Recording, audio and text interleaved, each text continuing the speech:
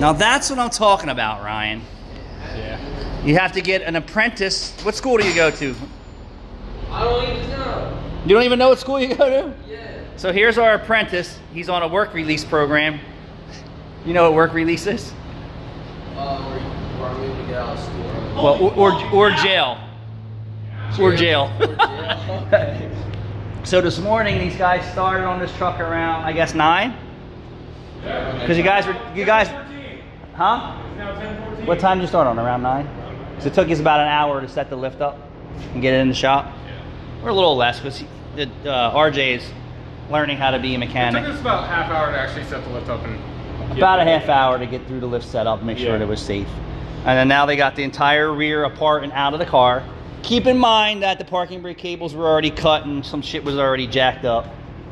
Yeah, made it a little easier, but still. All right, sweet.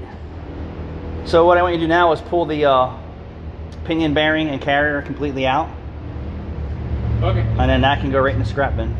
Got it. So So this whole piece. That's yeah, so take the pin out, stinky Yep. stuff. pull the axles, put the axles out back, Okay. pull the whole carrier out because I want that carrier for my truck. Sounds good. Smells bad. smells smells skanked. Yes, indeed.